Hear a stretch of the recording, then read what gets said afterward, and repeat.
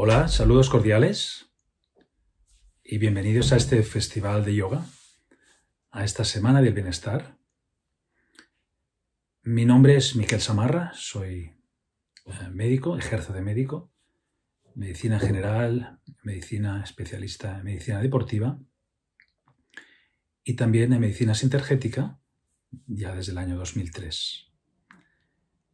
El tema que voy a desarrollar hoy en dos partes, una primera parte más teórica, unas cuantas reflexiones sobre lo que es el sonido, en relación al, a la mántrica, y después una parte más práctica, en donde vamos a eh, entonar, recitar unos mantras muy sencillos para iniciarnos en esta, en esta gran ciencia, la ciencia del sonido, de los mantras, una ciencia ancestral que tiene sus raíces en, lo que es el territorio de la India, de la región del Hindustán, de la región eh, asiática, centroasiática, aunque en otros lugares del planeta también se desarrolló esta, esta ciencia, es desde allí y desde, desde ese conocimiento uh, es el que voy a hablar. Entonces, en primer lugar, hablar del sonido es hablar de vibración, hablar de vibración. Y dicen los sabios antiguos que quien conoce el sonido lo conoce todo y que el sonido estuvo en el origen de lo que es esta creación que conocemos y que después del sonido se desarrollaron los otros aspectos que vemos, la luz, el color.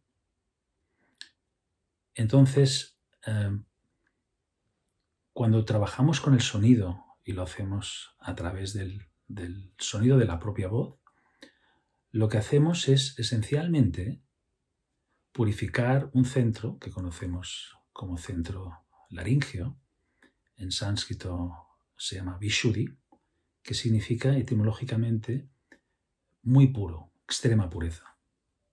Entonces, lo primero que consideramos, lo que debemos considerar es que este centro, que es esencialmente humano, porque los otros reinos no, no lo usan, como nosotros, es el centro a través del cual nos comunicamos. Y es a través del sonido que nosotros podemos eh, mejorar lo que es la comunicación en este, en este planeta, en relación con los seres humanos y también con los reinos inferiores. Entonces, el, el hecho que podamos trabajar con el sonido, con la propia voz, nos permite también, con el paso del tiempo, conectarnos con lo que es el sonido subjetivo, que es decir, ya no es el sonido que emitimos, el sonido audible, sino aquel sonido que está más allá. ¿no? Alguien le llama el sonido del silencio, algunos le llamaron así, que de hecho es el, es el, el propio nombre que tiene el cuarto centro, que es anahata. Anahata significa eh, el, el, sonido sin sonido, es decir, que es un sonido que, que no sería tampoco audible. Es decir, que al final podríamos decir que al trabajar con, con el quinto centro, al purificar el quinto centro, se va a desarrollar una, una conexión genuina con el cuarto centro. Es decir, que ese es el trabajo que como seres humanos hemos venido a desarrollar y en el que nos encontramos inmersos eh, en estos momentos de, nuestra evolución de una forma todavía más intensa. Entonces, el sonido nos lleva con el tiempo, por tanto, a ese silencio. El silencio interior nos lleva a conectar con el sonido subjetivo y ese sonido es el sonido que nos conecta con el canal central y a partir del canal central es cuando nos podemos elevar. Siempre es un movimiento que va de fuera al centro y hacia arriba, marcando así ese movimiento en ángulo recto. Entonces habría que comentar eh, algunos aspectos sobre lo que es el, el sonido en, el,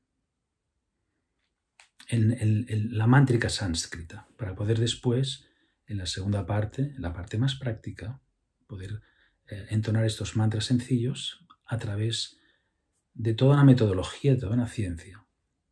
Es decir, trabajaremos con un sonido, vamos simultáneamente a visualizar un color, lo podemos conectar con una forma también y con un número, un número de repeticiones.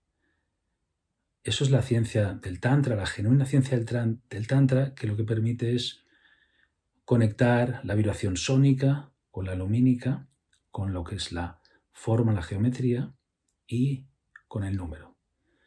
Esto en sí tiene un gran poder de autotransformación. ¿sí? Es a través del sonido que también cada una de las, eh, de las demás de los demás aspectos se va a potenciar, se genera un efecto sinérgico. Esa es la, esa es la propuesta de, eh, de, todo lo que fue la escuela pitagórica también. ¿sí? Trabajar con el número, la forma, el color y la vibración. Entonces el sánscrito es una lengua muy antigua, es una lengua que... Una mal llamada lengua muerta, en el sentido de que se llama muerta porque no se, no se habla, aunque el sánscrito es la madre de las lenguas indoeuropeas, por tanto, sería como eh, la abuela de los, idiomas románicos, por ejemplo, el castellano, catalán, el gallego, el francés, el italiano, el portugués, el rumano, todos estos idiomas que eh, vienen del latín. A su vez, el latín procede de lo que es, eh, es una de las lenguas indoeuropeas y por tanto el sánscrito está en la base. Es decir, que la vibración de, esta lengua está en, las lenguas que hablamos actualmente. Entonces, cuando trabajamos con el, sonido, lo vamos a hacer de una forma eh, eh, sencilla, simple. Es decir, vamos a utilizar lo que son los, sonidos uh, unisilábicos, pentasilábicos, octosilábicos, es decir, no vamos a hacer un gran desarrollo de mantras porque no es necesario para empezar y sí utilizaremos lo que son sonidos sencillos pero con un gran poder. Y voy a explicar entonces el significado esencial de cada uno de los mantras para que así también lo podamos eh, entender intelectualmente. Es decir, que tendríamos los sonidos semilla como una semilla muy sencillos, muy poderosos, tendríamos lo que son los mantras, Después, a partir de aquí, ya hay himnos y vayans que irían evolucionando, serían ya más largos, pero nos interesa sobre todo trabajar con lo que son los sonidos semilla, los sonidos sencillos, porque al final tienen un valor muy poderoso, porque ya sabéis que en la semilla está después toda la información que se despliega. Es decir, si usáramos la semilla de, de una planta, de un árbol, es a partir de esa semilla desde donde va a germinar un arbusto, después un árbol y de allí pues muchos y muchos frutos que a su vez van a dar muchas y muchas semillas, es decir, que el potencial que hay en una semilla es extraordinario. Por eso el mantra por excelencia, además muy popular, se utiliza casi en los anuncios de televisión, el OM, es muy, muy, muy poderoso y sería seguramente el, el mantra que podríamos, el único que podríamos eh, entonar regularmente y con esto tendríamos un enorme potencial para desarrollar el trabajo con el sonido. Por tanto, ese es un aspecto importante. Otro aspecto importante sería el de eh, sintonizarnos más y acercarnos a través de la vibración del sonido, no tanto el significado. Es decir, si tuviéramos que decir, bueno, eh, es importante lo que, entender lo que estoy lo que estoy entonando o es más importante la vibración. Primero la vibración, es decir, el acercamiento en mi experiencia hacia la mántrica a lo largo de estos últimos 20 años ha sido eh, recitar los mantras, sentirme atraído por esta vibración y después el significado aparece. Pero primero es la vibración y por tanto uno lo que hace es eh, practicar y practicar y practicar hasta que esa vibración permite avanzar hacia el significado, pero si te quedas primero con el significado, entonces eh, la vibración no, no, te impregna, no penetra. Eso es lo que ocurre con eh, textos muy sagrados, por ejemplo, que se recitan, el Bhagavad Gita, que es un texto de referencia del yoga, justamente, es decir, el yoga.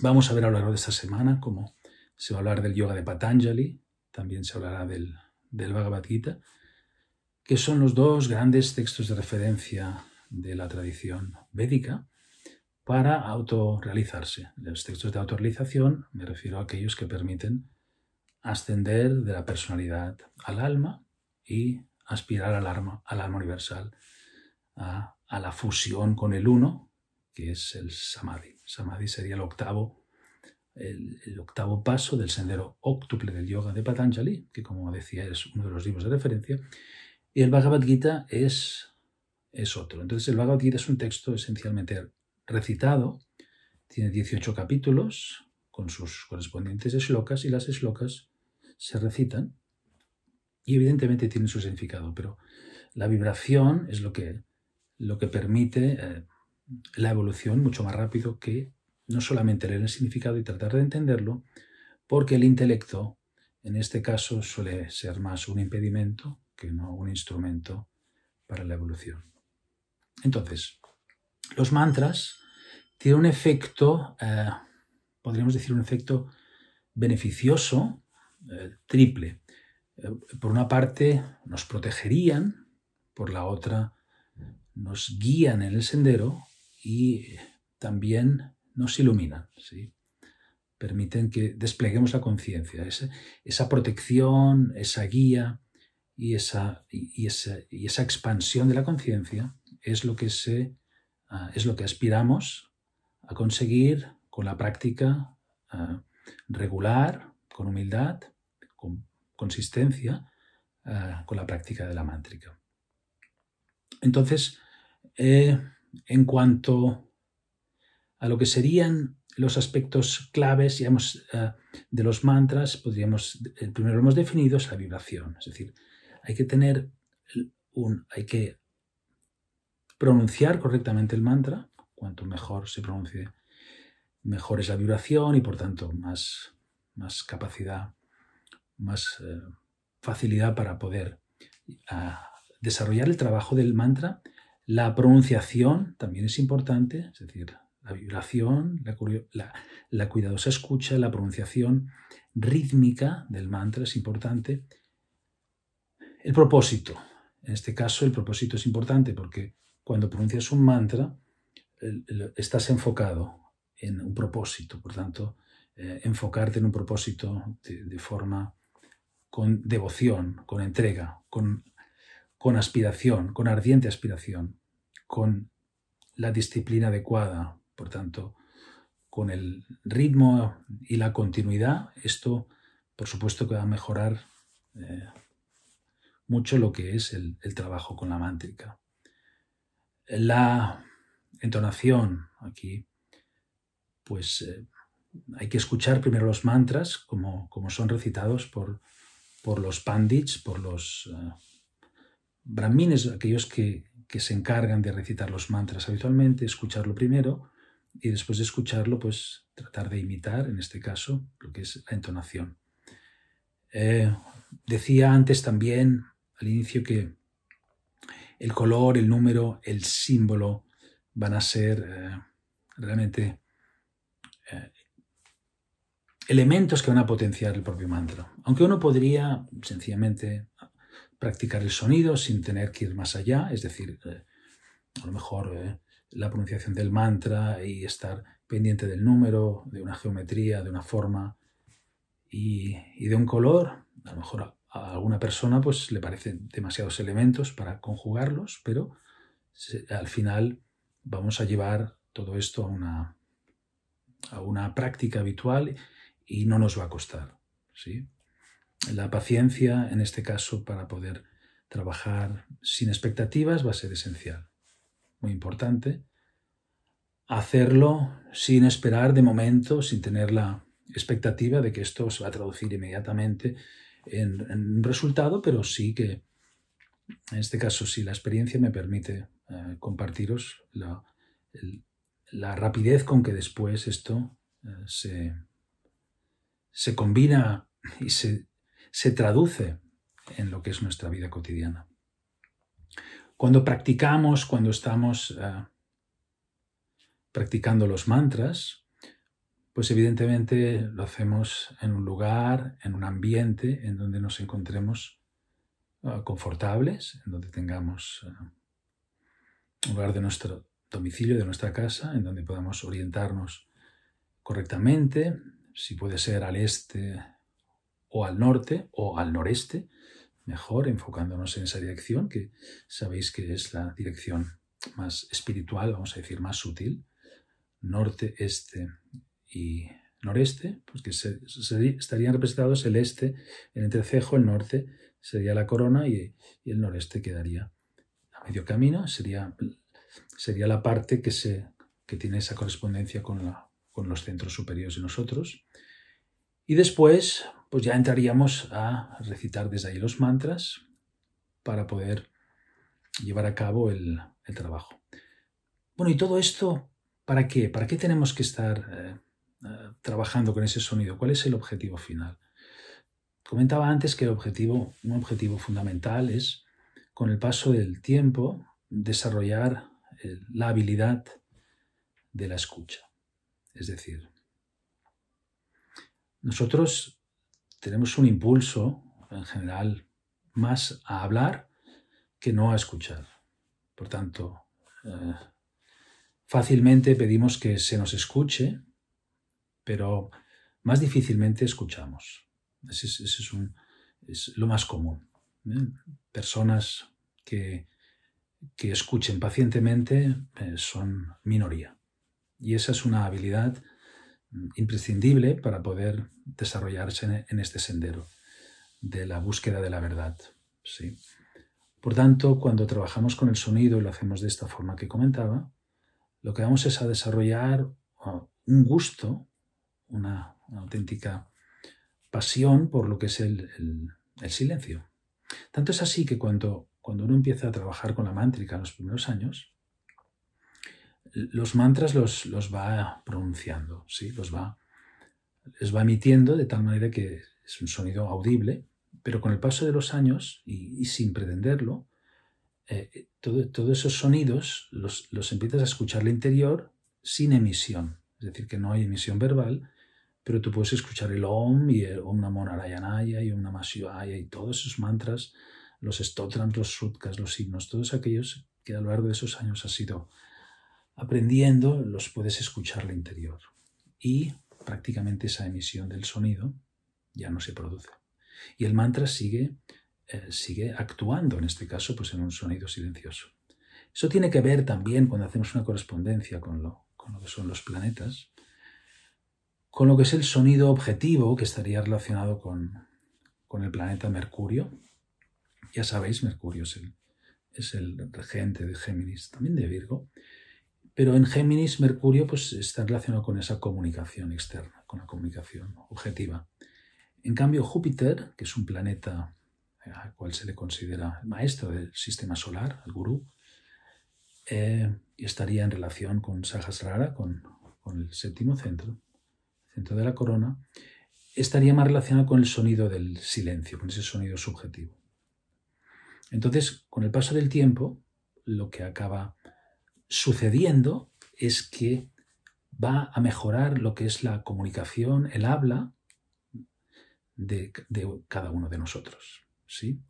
Al fin y al cabo, el ser humano, decía al principio de esta charla, eh, tiene en su quinto centro esa expresión eh, sutil de la comunicación, la expresión genuina, desde donde nos comunicamos. Y, como decía, es un, es un centro que tiene que estar muy puro. Y de hecho, cuando, cuando este centro no, está puro, pues eh, nos comunicamos inadecuadamente. Y prácticamente todos los problemas, los conflictos que tenemos en estos momentos en el planeta son por esa mala comunicación. Nos comunicamos de forma muy, muy, muy inadecuada y, y tenemos el gran desafío de la humanidad para estos tiempos venideros. Entonces, eso también nos permitirá, a través del sonido, ir mejorando esa comunicación, de tal manera que podamos comunicarnos correctamente, podamos decir la verdad.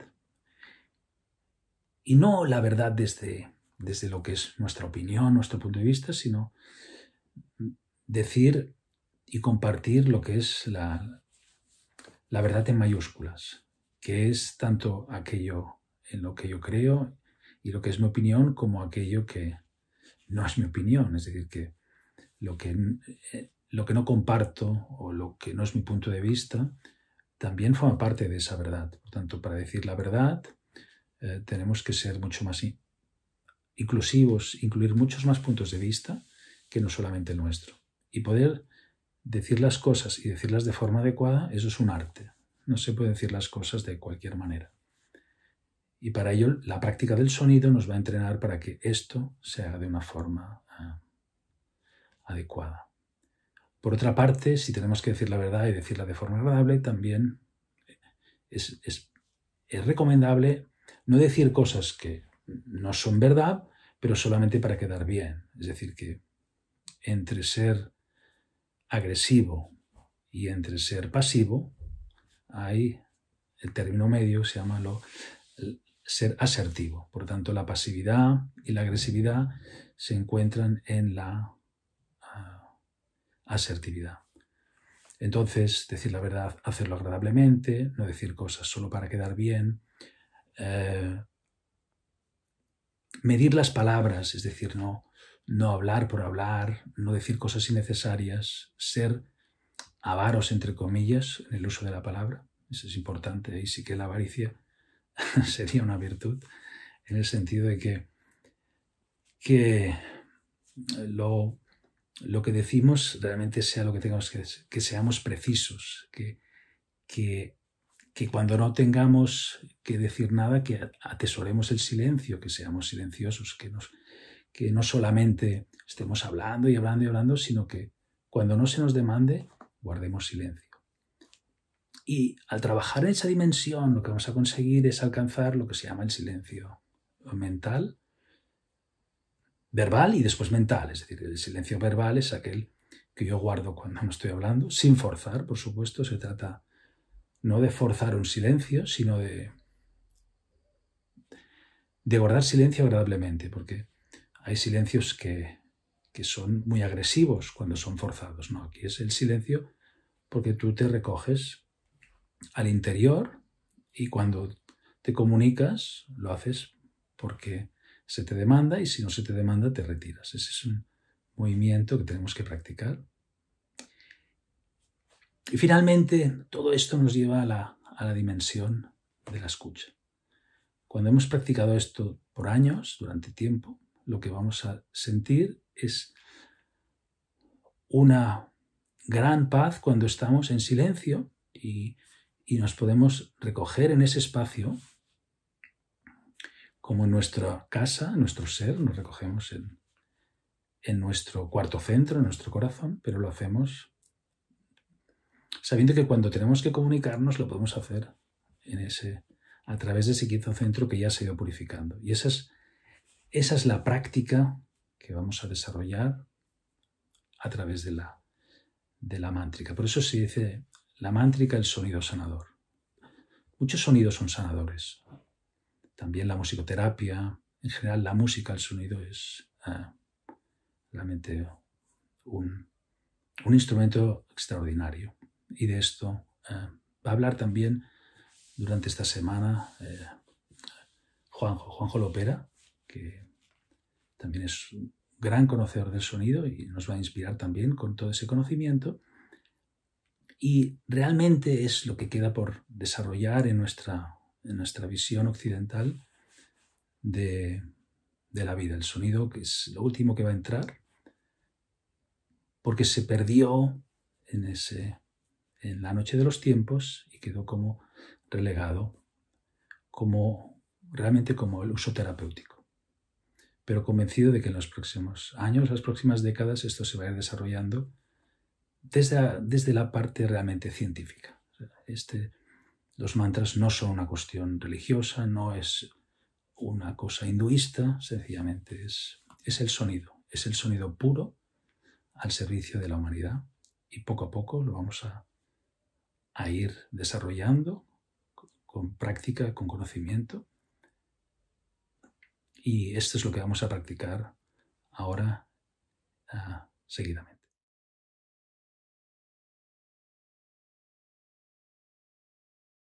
Iniciamos entonces la parte práctica de, de los mantras, que es el sonido sanador, autosanador. Y lo vamos a hacer con tres mantras muy sencillos, muy profundos, también muy poderosos cuando se practican. El primero va a ser Om. Om es un mantra muy conocido, prácticamente se conoce en todo el mundo. Se ha utilizado también y se utiliza eh, en relación con todo lo que es eh, oriental, incluso en algunos anuncios pues, de la televisión para conectarse con la cultura, con lo occidental, pues se pone ese mantra y se relaciona fácilmente. Después vamos a desarrollar el Om Namo Narayanaya, que es otro mantra, en este caso de ocho sílabas, también sencillo. Y el último Om Namah Shivaya, que es otro mantra, en este caso de cinco sílabas. Todos ellos eh, se proponen como instrumentos prácticos, por eso no eh, buscamos en este caso la, la dificultad, sino para que aquellas personas interesadas puedan iniciarse en la práctica de los mantras. Aquellos que ya conocen y están iniciados, por supuesto, pueden desarrollar la mántrica ya con eh, el Gayatri Mantra, otros, otros mantras, otros sutkas, otros stotrams que ya permiten ir un poco más allá. Pero con, con lo sencillo, con lo simple, cuando se practica, se puede avanzar en el sendero. El mantra Om, de hecho, se compone de tres letras, A, U, M. Entonces la O sería una contracción de la A y de la U. Entonces realmente sería Aum y Aum representa la Trinidad. Cada letra representa un aspecto de la Trinidad, del, del triple. Entonces la A, la primera vocal, sería lo que correspondería al Padre, lo conocemos también como la voluntad, la dirección, el propósito, el plan. La U sería la vocal que corresponde al segundo aspecto, al aspecto hijo, el aspecto de amor, sabiduría. Y la M sería el aspecto madre, el aspecto Espíritu Santo, el aspecto eh, inteligencia activa. Entonces, cuando uno está entonando conscientemente ese mantra, se está conectando con la triplicidad, que es lo básico, que es lo primero que surge en, la cosmogénesis. El aspecto en la cosmogénesis, tal como está desarrollada en los textos védicos, primero eh, surge eh, esa triplicidad de la voluntad, el amor, la inteligencia, y después en, distintos estadios ya se llega a desarrollar lo que vemos eh, en la creación. Entonces este mantra se puede invocar en cualquier momento, se puede invocar tres veces, siete veces en múltiplos de siete. Aquí lo interesante es que ese sonido lo podamos conectar con el conocimiento que ya tenemos sobre los chakras, sobre los centros, sobre los distintos lotos.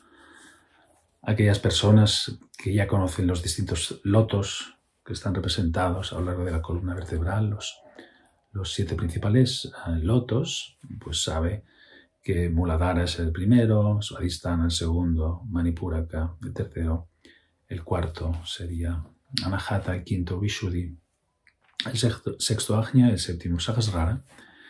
Entonces en esos lotos que tienen su correspondencia con los distintos chakras, y cada chakra con su glándula y con, vísceras, ahí entonces cada vez que estamos invocando ese sonido tan poderoso, lo estamos haciendo también a través de la conexión con ese loto, ese chakra y esa glándula.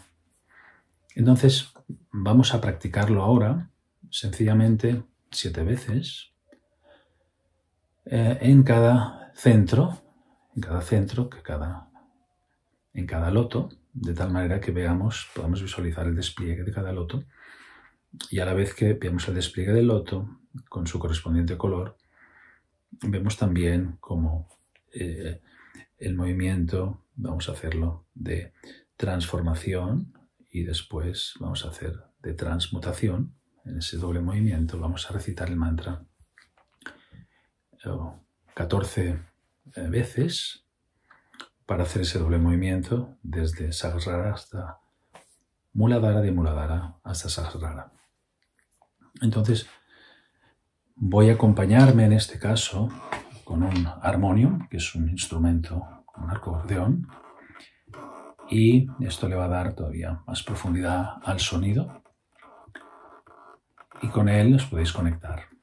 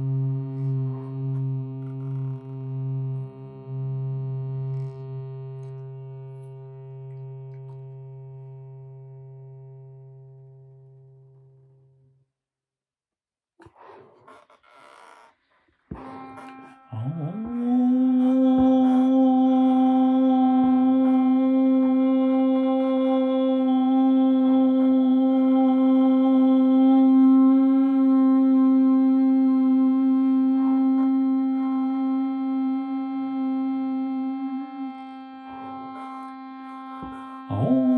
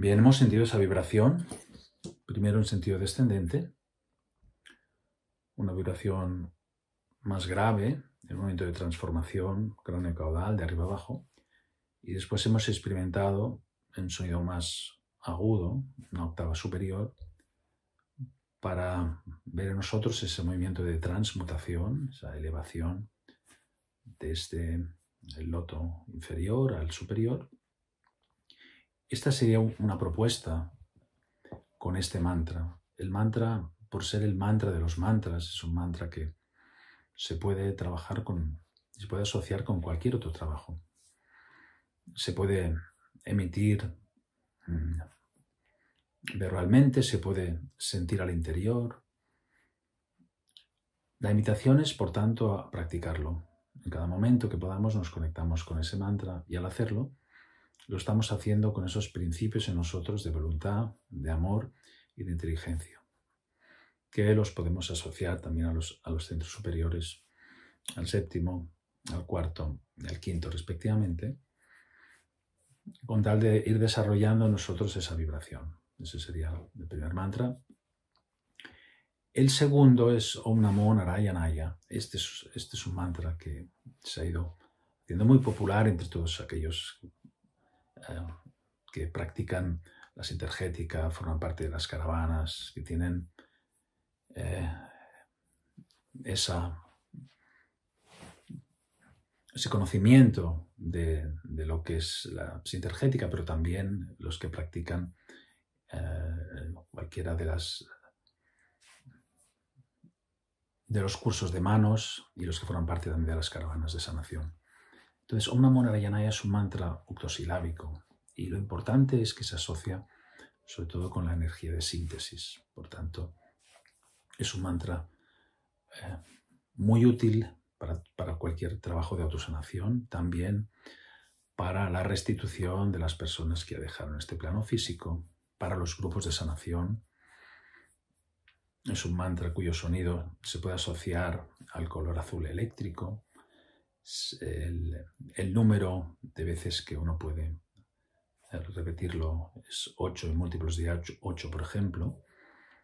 Y la, figura asociada a la geometría que se puede asociar a este, a este mantra es la que se conoce como el símbolo de perfección. Entonces esto sería como una circunferencia en la cual hay circunscrita un rombo. ¿sí? Ese rombo que, está circunscrito por la circunferencia, en cada uno de los vértices vamos a unir una cruz, por tanto sale veríamos una cruz de cuatro brazos iguales que forman parte de ese rombo y el rombo circunscrito por esa, por esa circunferencia. Eso se le conoce como el símbolo de perfección y tiene, tiene que ver, en este caso, con, con el cuaternario, con la creación cuádruple, y cada vez que lo entonamos nos conectamos con esa energía de síntesis, esa energía de, de autotransformación. Y es un mantra que, que, nos va a guiar, nos va a proteger, nos va a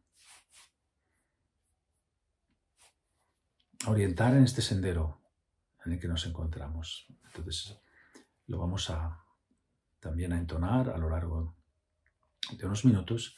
Es importante que siempre que se, que se recite un mantra haya un periodo de escucha, es decir, mm, como comentaba en la parte teórica, la emisión del sonido tiene que venir seguida de un tiempo de escucha. Entonces, el tiempo de escucha permite que ese sonido eh, ya subjetivo, ese sonido no emitido, se pueda sentir dentro de nuevo, se pueda, se pueda percibir al interior y de esta manera el trabajo del, sonido silencioso sigue actuando más allá de que la emisión verbal haya finalizado. Entonces este mantra suena Om Namo Narayanaya Om Namo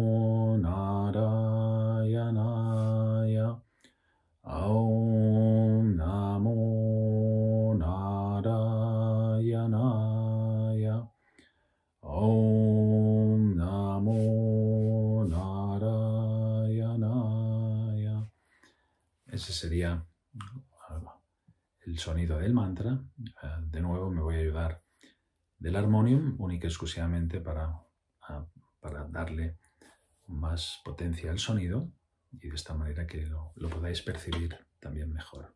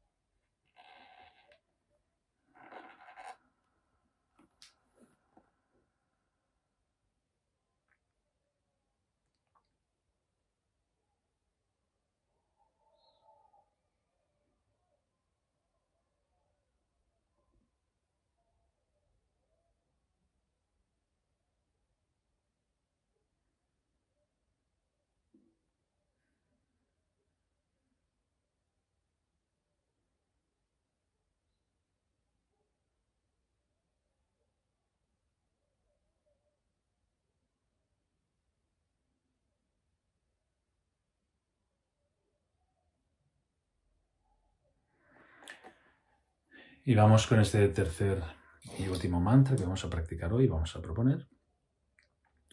Se llama Om Namah Shivaya. Este es un mantra también muy, muy, muy popular, muy conocido en la India, pero también en Occidente. Eh, es un mantra pentasilábico, cinco sílabas, y tiene relación con el aspecto voluntad.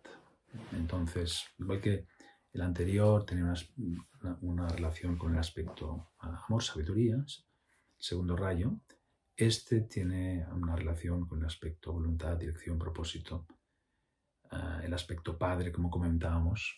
Y este es un mantra con el que se inicia a los niños en la tradición védica, niños y niñas, por supuesto, en la tradición védica, en, uh, es el primer mantra que se enseña. Y, tiene sentido porque, porque la voluntad, la dirección, el propósito es lo que necesitamos para desarrollar el plan.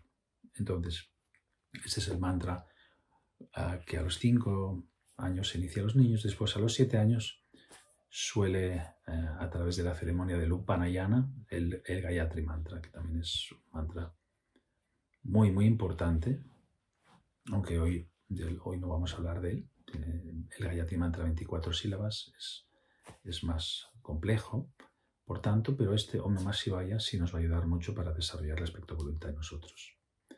Entonces, eh, se puede asociar al color eh, naranja, por ejemplo, a la estrella de cinco puntas, que tiene cinco sílabas, y lo podemos visualizar tanto en el centro del corazón como en el sexto centro. Esto serviría para todos los mantras, es decir, siempre que hagamos eh, cualquier trabajo de este tipo, lo intentamos hacer en los centros supradiafragmáticos, del cuarto, quinto, hacia sexto, séptimo, porque el trabajo en los centros inferiores requiere de una maestría que la mayoría de, nosotros no tenemos. Entonces, mejor visualizar estos sonidos, esta geometría, el color, en, en el cuarto centro, por ejemplo, o en el centro del, entrecejo. Entonces el número es el 5, se puede cantar en múltiplos de 5 y vamos a, hacerlo ya. El mantra suena así. Om Namah Shivaya. Om Namah Shivaya. Om Namah Shivaya. Om Namah Shivaya.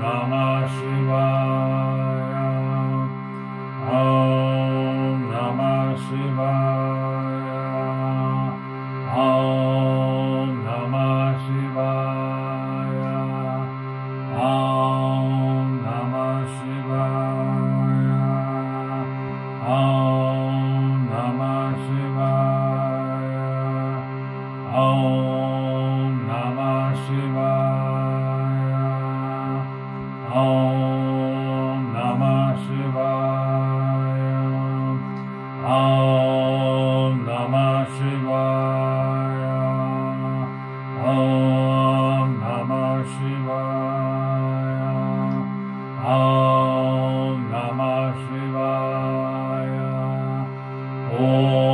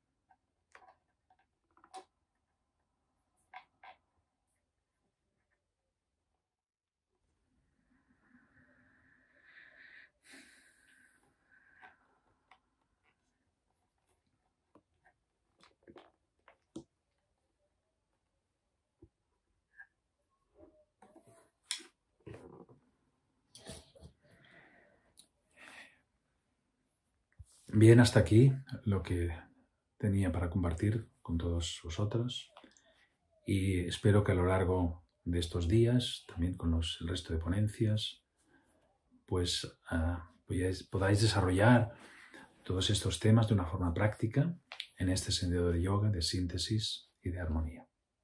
Muchas gracias.